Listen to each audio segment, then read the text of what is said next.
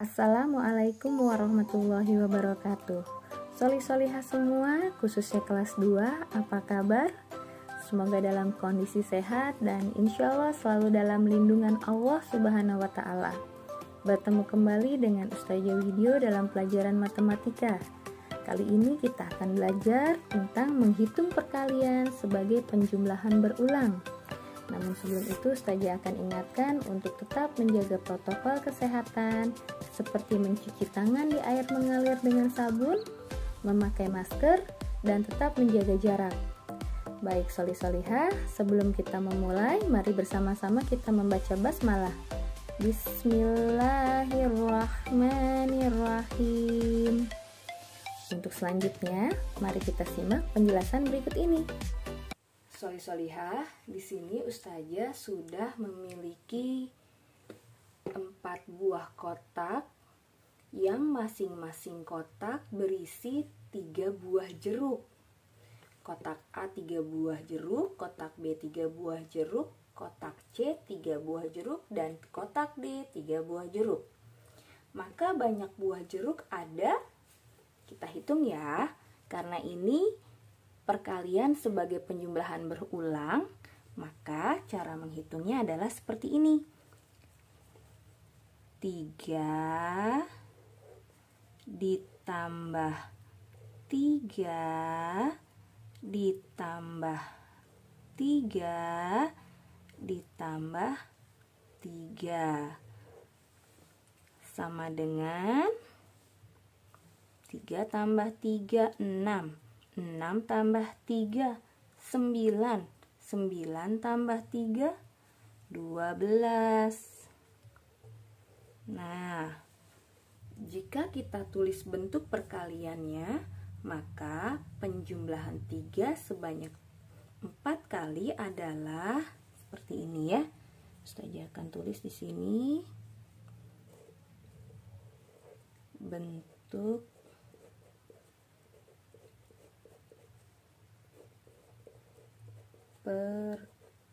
perkalian. Seperti ini ya. Penjumlahan tiganya ada empat. Maka ditulisnya empat dikali tiga sama dengan 12 nah sampai di sini.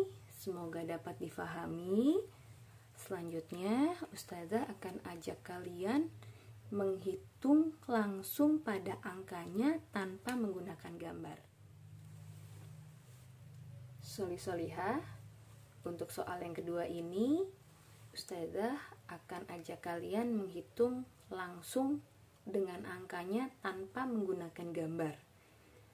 Soal yang pertama soal A. Di sini sudah ada penjumlahan 2 sebanyak 5 kali. Sekarang kita hitung ya, angka 2-nya ada berapa kali ya? 1, perhatikan yang Ustazah tunjuk, 2, 3, 4, 5 ya. Karena penjumlahan 2-nya ada 5, ada 5 kali, maka yang kita tulis dalam bentuk perkalian yang pertama adalah angka 5-nya dulu karena penjumlahan 2 sebanyak lima kali. Lima, baru kemudian kita tulis angka duanya. Nah, sekarang kita hitung berapa hasilnya. 5 dikali 2 sama dengan kita hitung hasilnya ya 2 ditambah 2 4 tambah 2 lagi 6 ditambah 2 lagi 8 ditambah 2 lagi 10 maka 5 dikali 2 hasilnya adalah 10